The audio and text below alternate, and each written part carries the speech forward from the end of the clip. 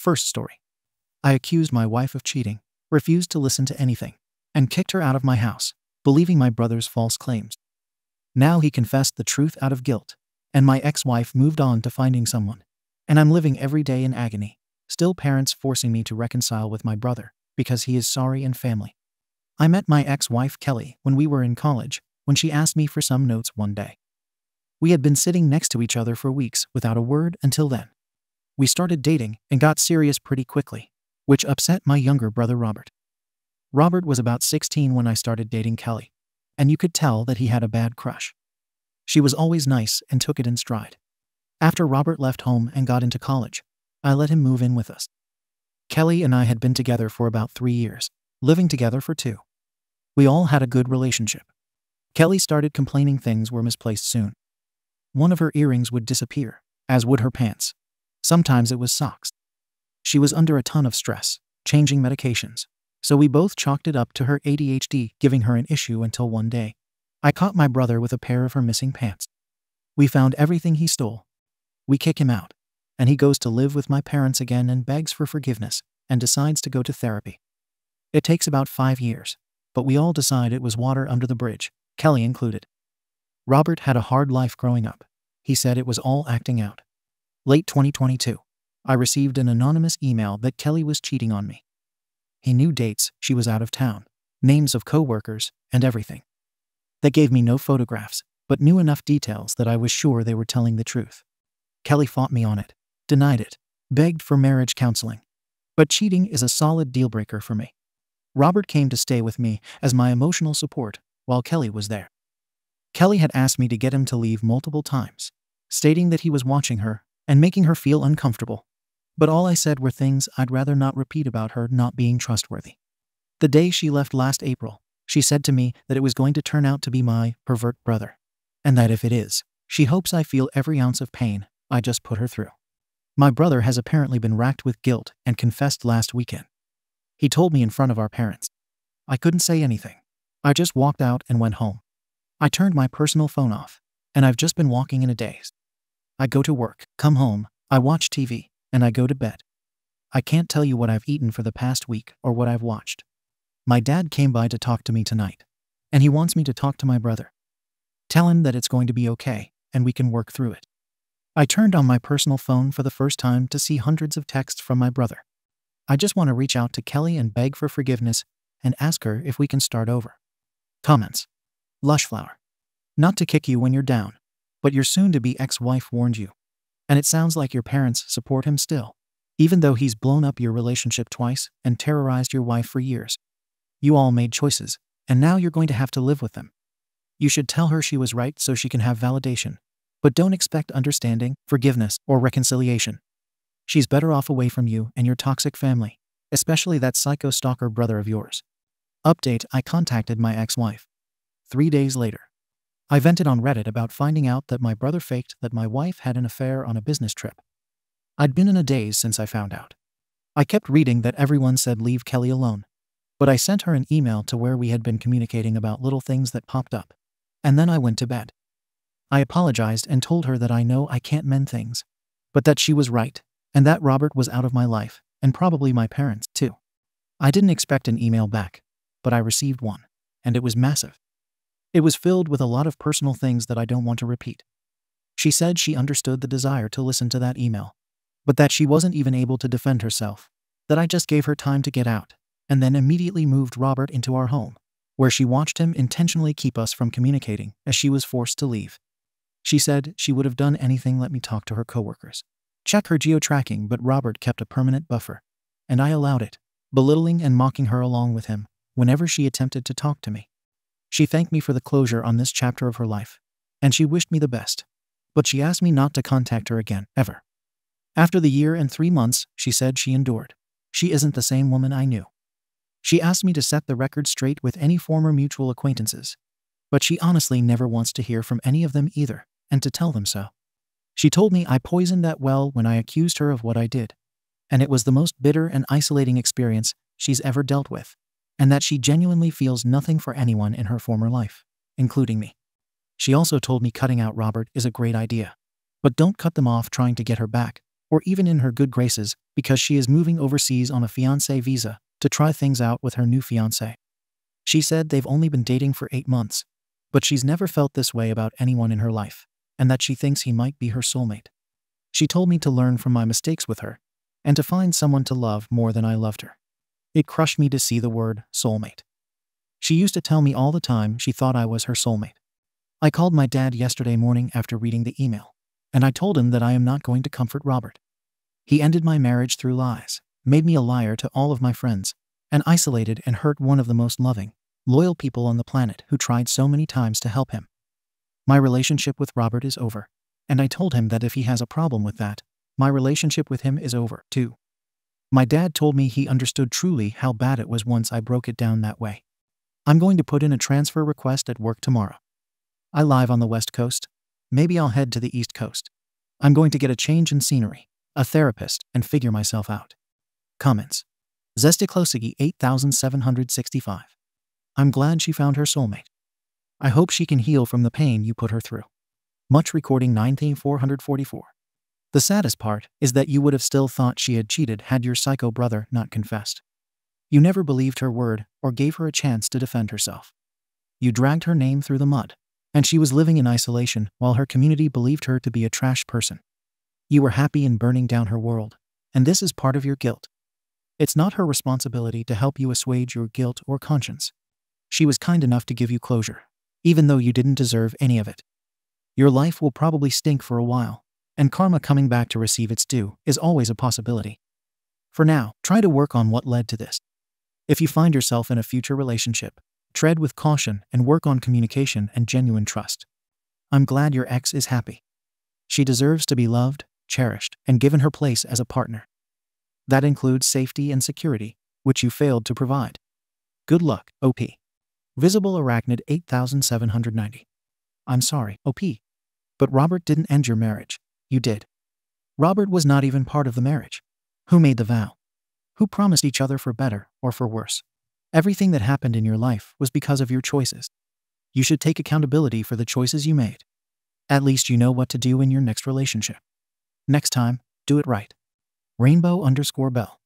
Yeah, like seriously, who believes that SHT without proof? Robert had no proof, just his words, and OP ate it up. Didn't let his ex wife defend herself. He definitely dealt the blow that killed his marriage. Second story. I 27M just found out my girlfriend 24F is lying about being on a trip. Is there any hope, or am I cooked? My girlfriend Amy and I went on our first date around 1.5 years ago. Took things slowly while being exclusive, and have been officially dating for one year. Overall, the relationship has been pretty good minus some small hiccups in communication that she chalks up to her neurodivergence. Amy isn't great with texting, which I thought was a red flag at first until I found out she's like that with almost everyone, most of her friends and family included. To give a little background, Amy and a few of her girlfriends go to this conference a few states over twice per year. It's a two day event, which they usually turn into a five day vacation because it requires a flight and hotel and is in a nice city.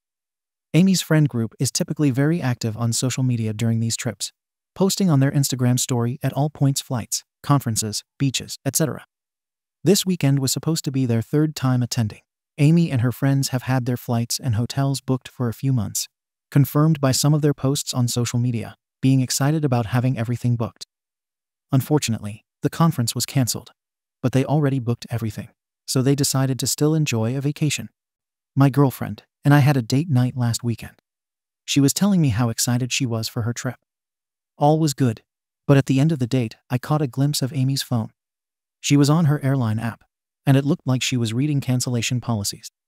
We had a long day, and I was tired and felt like I was snooping being nosy, so I didn't say anything. During the week, I asked Amy to hang out the day before the flight, emphasizing that I wanted to see her before her trip. Unfortunately, she was meeting up with her group of coworker friends, so she couldn't. No worries. The morning of her flight, I texted her, wishing her a safe flight and happy trip, and she liked my message. We haven't talked since. As I said, she's not a big texter, so we usually don't text much besides planning dates and in emergencies. I figured she was on her trip, so I haven't texted to plan a date. Now on to the meat of the issue. Amy is now supposed to be a few days into her trip, and I noticed none of her friends were posting on Instagram. I thought that was weird because they usually post a lot, but I shrugged it off. That was until tonight. Amy started posting videos of her at a show. It looked fun, and I didn't think twice about it. Until the ending, where the show host called out, Thank you, and then the name of the major city nearby where we live approximately 30 minute drive. I looked up the name of the show, and of course, it was in that nearby city this weekend. Meaning she wasn't on that vacation after all and never thought to say anything to me about it. I did a little snooping on Venmo and found out that over two weeks ago, Amy's friend paid her back the money that Amy had sent her for the hotel and car rental. So she's known the trip was canceled for two weeks and hasn't said anything to me every time I brought it up. Where do I go from here? I feel like I'm suddenly spiraling, going crazy overthinking everything lately to see if I've missed any signs. I've already started assuming the worst, and I'm panicking. I'm out of town for the weekend, and I feel like this has totally thrown off my trip. Is this worth a conversation, or is the relationship already over? Is there any reason she would not have said something by now? Even if she tells me the trip was cancelled right when I see her before I confront her, would that still justify not telling me until after the trip? Please, any advice is greatly appreciated. Thank you. Edit. Her best friend just uploaded a picture of them together during the show. So I know she wasn't there with some other guy. But that doesn't explain the lying. Comments. Trish. I don't see any justification for lying to your face. Repeatedly. Aren't you angry? That's not okay. OP yay, of course I am. Sorry if that didn't come across. I tried to stay level headed in the post and just lay out the facts. I'm kind of going through the stages of grief right now, anger being one of them. And on throwaway 072023. Sure, it seems like she pretended the trip was happening to do something else with someone else. That's your worst case assumption, right? If so, what's her plan? Keep pretending she went. Keep you in the dark. Hope no friend outs her. Pretty stupid. If she's seeing someone else, she should just dump you. OP yay, that's my assumption. I don't really see any other reason why she would have pretended the trip was still planned. Even if I misunderstood the timeline of the trip getting cancelled, like if that Venmo payment was for something else. I'd assume she would have told me when I texted her the morning of her flight. Bloof underscore ponder underscore smudge. I take it she wants to get caught since she's posting the videos. Or is she just dumb? OP. I considered that maybe she's trying to get me to dump her. Which would make sense. But she's been talking about celebrating my birthday soon, planning a getaway trip together, etc. It'd be weird that she's trying to put in effort and plan future things while wanting to get dumped. But I don't know. Everything's so confusing. Bloof underscore ponder underscore smudge. Very confusing. I wish I could help you. The only thing to say is to talk to her when you see her again. But can you trust anything she tells you? Clearly, she's deceitful. I've no idea how to move forward with this. Sorry. OP, yay, I have no idea if I'll be able to trust any of what she says. I don't really know what help I'm looking for anymore here. I guess I was just praying there's some perspective I wasn't seeing. Thanks for your input anyway. I really appreciate it. Update. Two weeks later. Hey everyone. I had some DMs asking for an update, so here it is. To quickly summarize my last post. A few weeks back, my girlfriend was supposed to go on a trip a few states away to go to a conference. I came to find out that the conference was cancelled, and she didn't actually go and never even bothered to tell me. She lied by omission about it by not telling me when I texted her to have a good flight. I found out she didn't go because her best friend posted a picture of them at a show in our local nearby city. So here we are, almost a month later. I was wrecked and spiraling these past few weeks, and after being together for almost two years, I was too panicked to reach out and ask to see her. During the three weeks since her planned trip, she hasn't reached out once to me. That was until yesterday, when she casually reached out like we hadn't just ignored each other for three weeks and asked to see a movie. So I just finally saw her tonight. In the car, I asked about her trip.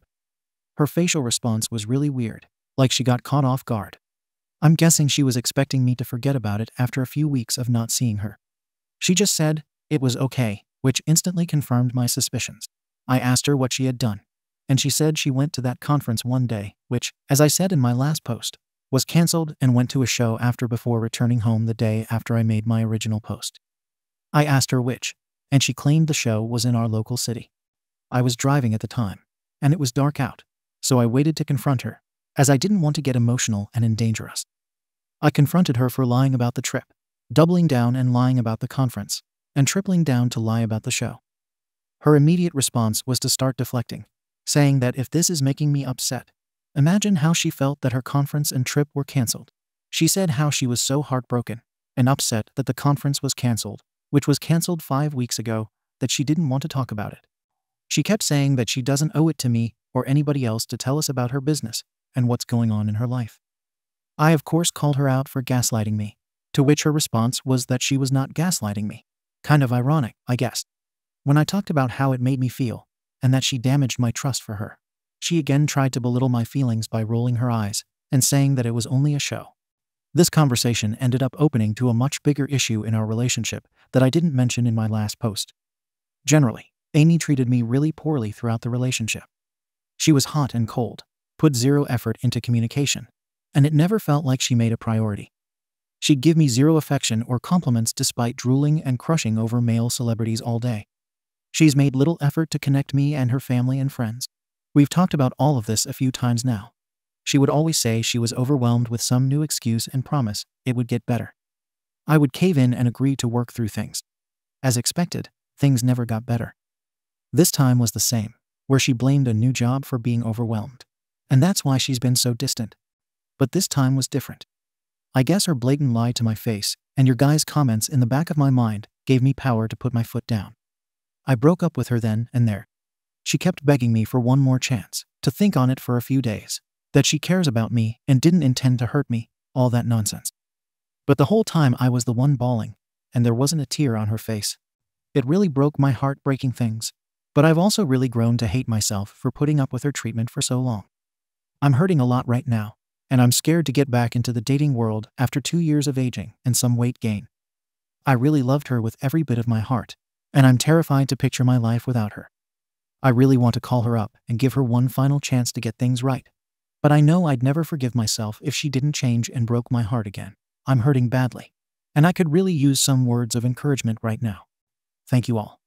Comments. Ad Creative 8850. Baby, you don't deserve this. Don't let this beast of a woman back into your life. The day is young, and your youth has just begun. There are so many beautiful faces and souls you have yet to meet. There are so many opportunities that await you, and the future only asks that you let go of your past. Bloof underscore ponder underscore smudge. I know that you're hurting right now, but I have to say this. Her being gone is a positive, not a negative. Don't be afraid to take some time for yourself before diving back into the dating pool. Assistance Yak 3669. You're only 27. Everyone ages. Weight gain. The gym is a great outlet for frustrations as well as a motivator. You dodged a bullet. You were able to stand up for yourself and put your foot down when she tried to gaslight you into believing that you were in any way, shape, or form guilty. That is the first leap in a great direction. Plain adhesiveness 29. Yeah, man, I'm 38 and about to be 39. I met my now wife after separating from my ex at 33 and had kids at 35. You aren't even close to old. Join a gym, start a fitness routine, and go out into the world. You don't need to start dating. And in fact, it sounds like you could use time to yourself first, since you are having these feelings of low self esteem. You deserve someone who shows you the same affection you give them. Don't settle for less. By Squickmania. Yep, I met my partner at 46. A few years ago. There is always time. It may not be exactly what you want, but it will be what you may need. Live, grow, and be happy. Good things will come to you. Thank you for watching the video. If you are interested in listening to these kinds of stories, we've got more in store for you. Simply subscribe to our channel, hit the like button, and share it with your friend.